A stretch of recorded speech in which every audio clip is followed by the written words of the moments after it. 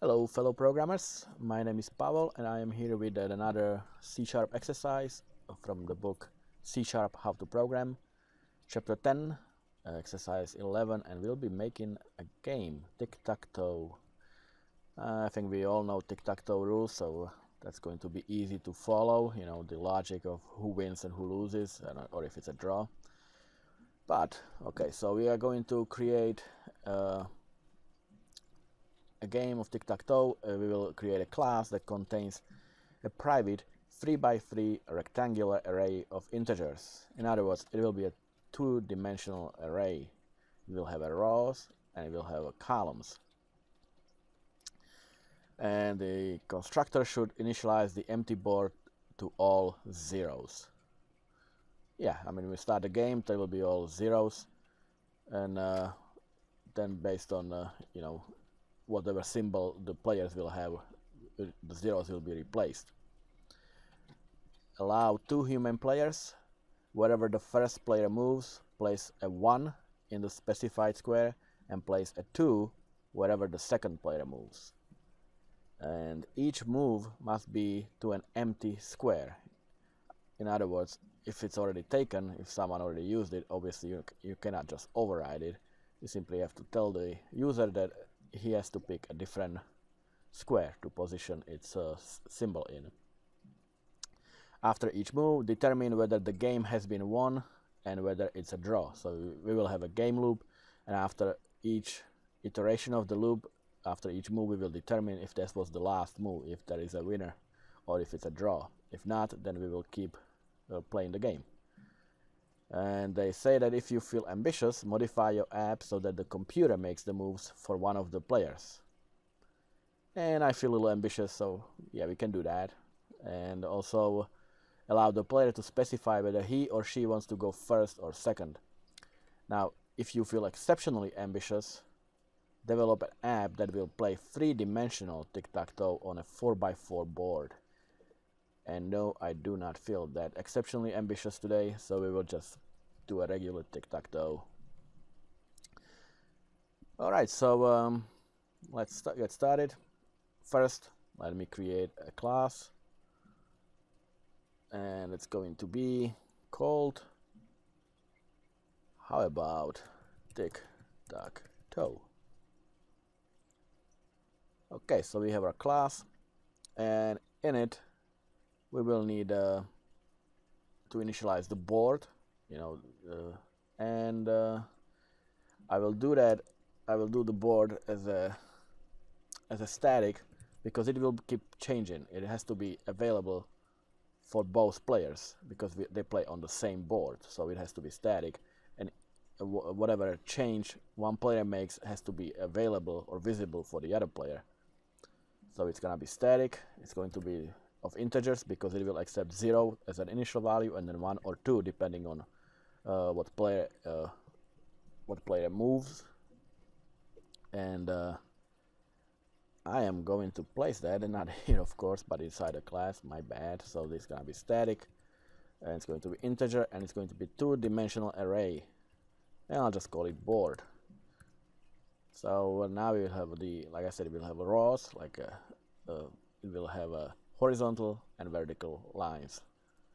And um, another thing that I will need is a name for the player, just uh, just to ask the for the name. I don't think so. Uh, I make it available again for the whole class, but of course it's uh, private by default. So uh, our constructor for the class tic tac toe will accept and I'm going to make it uh, it's going to accept two things. It's going to accept the player's name but it will also accept uh, for internal use just for the class and for doing the looping and the calculations and all that it will accept an integer one or two. One for player one two for player two because it's simply easier to you know deal with the integers than you know with the player's name for the again for the internal use of the class. So it will accept the integer player and it will accept the string of the player name. And uh, inside it will initialize a few things. It will initialize the board. Uh, but before that we do that I'm going to do a property public integer player and it will be automatic property so it will simply get and set. And that's going to be our player. So our player will equal player. We don't have to verify this because we will be adding this value ourselves within the program. It's not something that the user inputs. This is assigned automatically. So we got the player and we got the board which is the you know the two-dimensional array. And we will initialize it to 3 by 3 so it's going to be new array of integers with 3 by 3 all right. And um, I will do another property. I will do the player name property. So I will do public uh, string player name. And this one will get uh, of course it will return the player name. So it will return and I'll do the this keyword so it's uh, clear that we are talking about this variable not this but this one. So it will return player name uh, another way to do it would be simply name this one with like let's say underscore. And that way you don't have to do this but you could use the underscore. Doesn't matter. One way or another is fine. And um, it will set the player name but we will verify it. We will make sure that the user actually enters the name. In other words doesn't just click enter and leaves it empty. The name has to be entered. So if the value that the user enters, the length of it uh, is uh, is greater than zero. In other words, if user actually entered something, then uh, player name equals value. We have a correct name. I mean, we're not verifying if it's actually the player's name, but you know, player entered something. He entered a string, and so we assign that to the player's name. Otherwise, if the length is uh, empty, if it's less than, if it's zero or less, well, not less, but if it's zero, uh, then uh, we will loop until the user enters correct name. So we will do a while loop and we will be looping while the value uh, length is less uh, than 1. In other words, if it's 0, basically. So I'll comment it as name cannot be an empty string. So we will loop until it is not an empty string. And to do that, we will, like I said, we will use a while loop. As long as it's less than one, we will simply output the console dot write line uh, invalid entry. Please re-enter player's name and we will get the name into the value again and which is going to be simple it's a string so no conversion is needed. Console dot read line. And if this is wrong if the user uh, doesn't enter anything again it comes back of course to the while loop. It checks the condition. Yeah it's still less than one it's still uh, empty string. So it you know uh, outputs uh, invalid en entry uh, please re-enter the name and it will be looping as long as uh, the user keeps entering wrong name. Once it is correct, it comes to while loop, of course, and this is false, so this is not executed anymore, and it comes uh, and it will assign the player's name. In other words, we will not move forward with the program until the player's name is correctly assigned. So that is our player's name. So I go to my uh, to my uh, constructor and I'll do player name equal player name whatever the user supplied So I like to do it with properties, but, of course this is capital player name, it's a property. Our property equals to whatever the user supplies as long as uh, you know the, the, the value is correct. Okay, so we have that. And now I can go and actually start the game. Now the first thing we need to do is to initialize the board so I'll come over here I'll do public and it's gonna be static again because uh, it, it is uh, performed for both players uh, there's only one board so we, we can do it static and we will simply do uh, a nested loop for integer r I use r as a row, so you know that's the horizontal lines and I will use C for columns, which is obviously the vertical lines, vertical lines uh, of the board. So for r equals 0, r is less than 3, and r plus plus.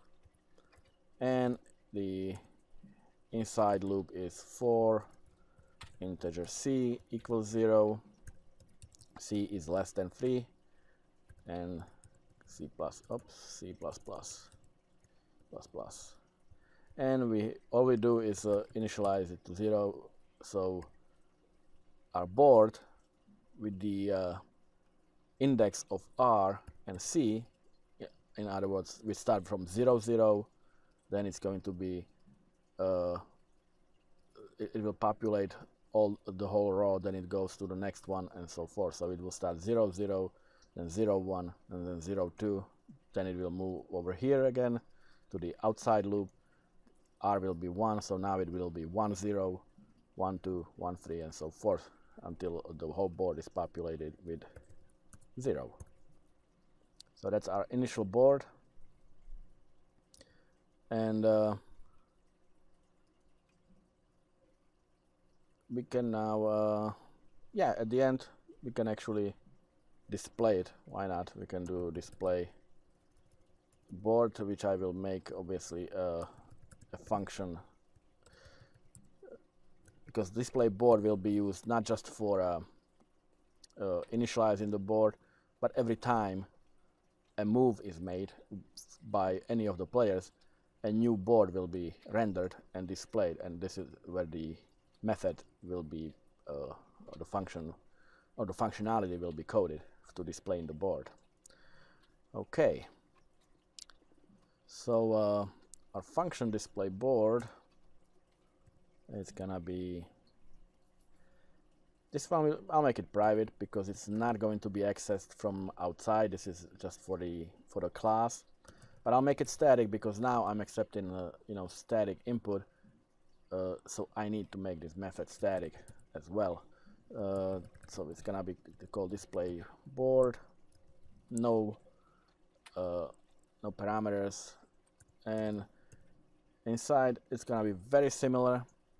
Uh, it simply will but it, we will do another integer r equals 0 r is uh, less than 3 and r plus plus of course and uh, inside we'll do the inside loop for integer c equals 0 c is less than 3 again it's because the board is 3 by 3 and C++ plus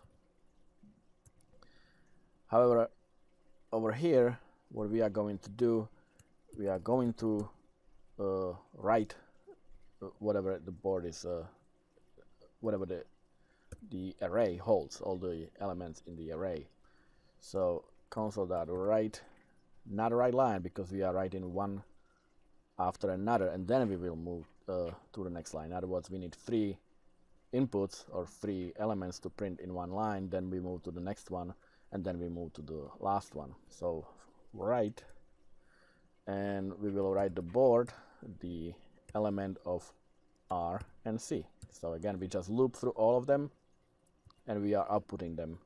And what I'm going to do after each is uh, printed on the, or displayed on the board, I'll add a space to it, just so they are not cramped together. It's just for the visual. so over here with this one we output a, a line basically at the beginning when we call it from the initial board it will output 0 0 0 now we have to move to the next line so over here I will do console dot uh, write line. So now it moves to the next line it comes over here and it will simply output uh, another 0 0 0 right? So uh, and then we go to thread 1 and it will output the thread 0 0 0 at the beginning. After after we start playing obviously these zeros will be changed to whatever player 1 or 2 uh, using as, a, as their symbols which is uh, number 1 or 2 uh, in our case. So um, we have that and uh, so I'll delete that.